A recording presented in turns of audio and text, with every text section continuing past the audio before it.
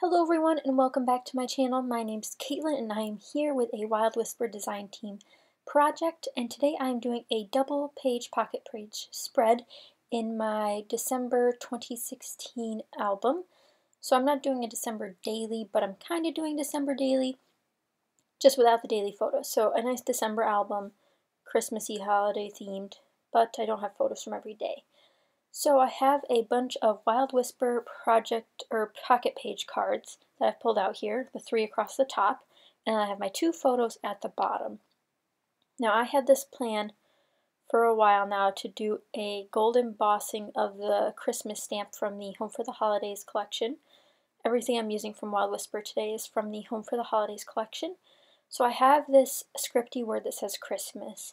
Um, and this collection was designed by Tori Bissell, in case you didn't know. She's here on YouTube as well. So definitely check her out if you want to see more projects, as well as the rest of the Wild Whisper Design team over on the Wild Whisper Designs blog. We have lots of projects over there featuring this collection as well as the other collections. So I'm simply taking this stamp and this pocket page card and using my Versamark ink and then using some gold embossing powder and it already looks beautiful. I wish I could keep the texture of the powder, but you do need to melt embossing powder in order for it to stay permanent. I'm brushing off the excess pieces of embossing powder with a dry brush. That's a tip if you need one. Um, and if you didn't watch my other process videos for this album, definitely check them out. I have a kit that I put together for this album featuring the Wild Whisper Designs papers, and the stamp set and some of the uh, other items from Wild Whisper, so definitely check that out. So now I'm just using my heat tool to heat emboss this. And when you're heat embossing, you want to do both sides of the paper so the paper doesn't warp too much one way. Um, so you'll see me switching it back and forth. And um, definitely let your heat gun get hot enough to make sure all of the powder is melted to get the best outcome. So you can't really tell now, but there's quite a bit of shine on it and also use a Swiffer dusting cloth to pick up all your excess embossing powder or glitter. So once that was done, I was ready to start decorating more. So I wasn't sure of the title yet. I knew it was going to be Christmas Helpers or Christmas Decorators or something like that. So I'm looking at all of these different alphabet sets that I have. You can see this one's a very bright gold. Um, it looks pretty dull until you see it shine, but it's not the right shade of gold. I do pick out some of the letters and then I realize I hate it. So I put them back. Um, I'll settle on some tinier letter stickers, which are actually from Heidi Swapp, but they're the same gold sparkle and they work really well with this stamped image. So the title ends up being Christmas Decor because I didn't want to use too many letter stickers.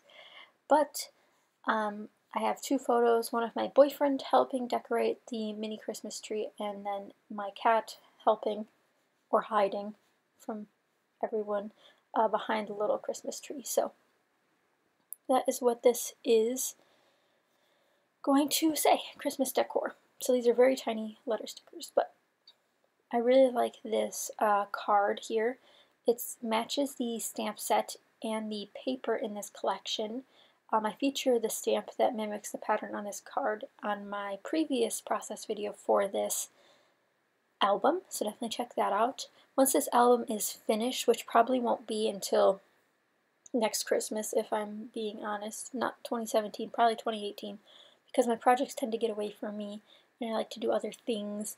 But when this is done, I will have a full flip through featuring all of that. Now the card I'm working on now, it says Home for the Holidays, and I put a cork heart down, which is from Speak Mom Scraps, which you can pick up at the Wild Whisper store in case you want to uh, get a couple more embellishments. And now I'm looking at some of the other pieces I have, like these wood veneer um, from Wild Whisper, and I pull out these three sprigs. Um, they're all different heights, and I'm trying to think of how I can use them to emphasize this card, and what I end up doing is placing them in a little almost like a uh, bouquet, um, but facing downward. They're just like little leafy pieces.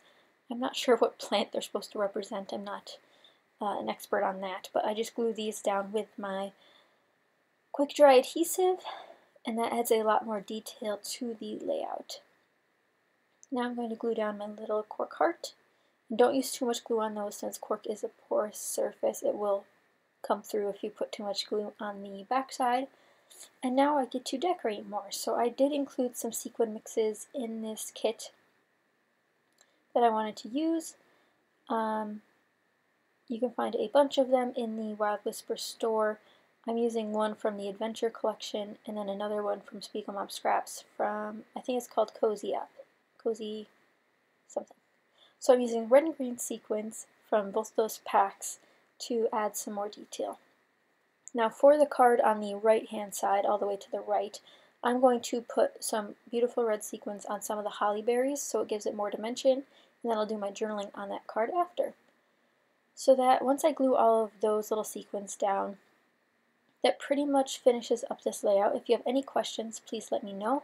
Be sure to check out Wild Whisper Designs blog. I'll have it linked down below so you can check out all the photos from my project as well as see other projects that you won't want to miss for the Christmas season. So thank you guys so much for watching.